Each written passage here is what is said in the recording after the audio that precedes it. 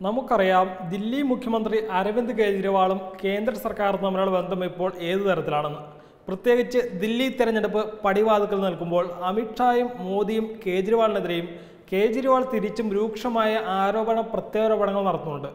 ഈ സാഹചര്യത്തിലാണ് പാകിസ്ഥാനിലെ ശാസ്ത്ര സാങ്കേതിക വകുപ്പ് മന്ത്രി ഫവാദ് ചൗധരി ദില്ലിയിലെ കലക്കവെള്ളത്തിൽ മീൻ പിടിക്കാൻ ഇറങ്ങിയത്.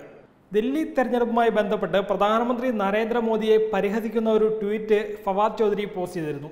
ഈ ട്വീറ്റിന് ദില്ലി മുഖ്യമന്ത്രിയും ആം ആദ്മി നേതാവുമായ അരവിന്ദ് കെജ്രിവാൾ നൽകിയ മറുപടിയാണ് ഇപ്പോൾ ശ്രദ്ധേയമാവുന്നത് ഇന്ത്യയുടെ ആഭ്യന്തര കാര്യങ്ങൾ പാകിസ്ഥാൻ ഇടപെടേണ്ടതില്ല. മോദി ഇന്ത്യയുടെയും എന്റെയും പ്രധാനമന്ത്രിയാണ്. അതിനാൽ ഇന്ത്യയിലെ ആഭ്യന്തര കാര്യങ്ങൾ മറ്റാരും ഇടപെടേണ്ടതില്ല എന്നാണ് കേജ്രിവാൾ ഫവാദിനുള്ള മറുപടിയായി ട്വീറ്റ് ചെയ്തത്. വരാൻ പോകുന്ന ദില്ലി തെരഞ്ഞെടുപ്പിന്റെ പശ്ചാത്തലത്തിലാണ് ഫവാദ് മോദിയെ പരിഹസിച്ചത്. ഇന്ത്യയിലെ ജനങ്ങൾ മോദിയെ പരാജയപ്പെടുത്തും. വരാൻ പോകുന്ന ഡൽഹി തെരഞ്ഞെടുപ്പിലെ ഫലത്തിലൂടെ അത് കാണാം. കാശ്മീർ പൗരത്വ നിയമം സമ്പദ്ഘടനയിലെ പ്രശ്നങ്ങൾ എന്നിവയെ തുടർന്ന് പ്രധാനമന്ത്രിക്ക് അടിതെറ്റി എന്നൊക്കെയാണ് മന്ത്രി ഫവാദ് ഹുസൈൻ പറഞ്ഞത്. ഇതിനുള്ള മറുപടിയാണ് കേജ്രിവാൾ നൽകിയത്. ദില്ലി തെരഞ്ഞെടുപ്പ് ഇന്ത്യയുടെ ആഭ്യന്തര കാര്യമാണ്. ഇക്കാര്യം പറഞ്ഞ രാജ്യത്തിന്റെ ഒത്തൊരുമ നശിപ്പിക്കാൻ നിങ്ങൾക്ക് അവകാശമില്ല. മോദി രാജ്യത്തിന്റെയും എന്റെയും പ്രധാനമന്ത്രിയാണ്. ഭീകരവാദത്തെ പിന്തുണയ്ക്കുന്നവർ ഞങ്ങളുടെ കാര്യങ്ങളിൽ ഇടപെടുന്നത് അനുവദിക്കില്ല. പാകിസ്ഥാൻ എത്ര ശ്രമിച്ചാലും രാജ്യത്തിന്റെ ഒത്തൊരുമ നശിക്കില്ല.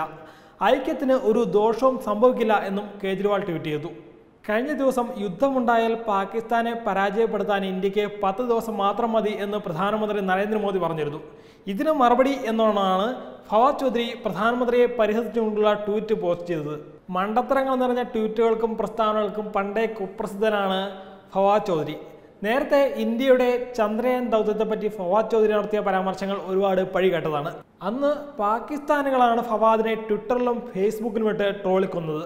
ഒരു ജോലി അറിയില്ലെങ്കിൽ അത് ചെയ്യാൻ പോകരുത് എന്നും ഐ എസ് ആർ ഒയിലെ ശാസ്ത്രജ്ഞരോട് ഒരു ബഹിരാകാശ യാത്രികനെ പോലെയാണ് ഇന്ത്യൻ പ്രധാനമന്ത്രി നരേന്ദ്രമോദി പെരുമാറുന്നതെന്നും രാജ്യത്തിന്റെ തൊള്ളായിരം കോടി പാഴാക്കിയതിന് മോദിയോട് പാർലമെന്റ് വിശദീകരണം തരണം എന്നുമായിരുന്നു ഫവാദ് അന്ന് നടത്തിയ പരാമർശം.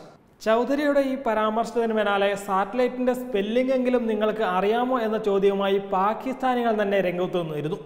കാശ്മീരിന്റെ പ്രത്യേക പദവി ഇന്ത്യ നീക്കിയതിന് പിന്നാലെ അവിടെ ഉപഗ്രഹം വഴി ഇന്റർനെറ്റ് കൊടുക്കണമെന്ന് പറഞ്ഞതിന്റെ പേരിലും ഫവാദ് ചൗധരിയെ ട്രോളന്മാർ ഏറ്റെടുത്തിരുന്നു. ഇന്നത്തെ കാലത്ത് ഇന്റർനെറ്റ് മൗലികാവകാശമാണെന്നും കാശ്മീർ ജനതയ്ക്ക് പാകിസ്ഥാൻ ഇന്റർനെറ്റ് സൗകര്യം നൽകുമെന്നുമാണ് ഫവാദ് ചൗധരി അന്ന് ട്വീറ്റ് ചെയ്തത്. എന്തായാലും ഇപ്പോൾ ദില്ലിയിലെ എരുതിയിൽ എണ്ണയൊഴിക്കാനുള്ള ഫവാദിന്റെ പരിപാടിയും പൊളിഞ്ഞിരിക്കുകയാണ്. ഫവാദ് ചൗധരി അധികം വൈകാതെ തന്നെ വീണ്ടും അടുത്ത മണ്ഡലമായി വരുമെന്ന് നമുക്ക് പ്രതീക്ഷിക്കാം. Web desk തത്വമേ news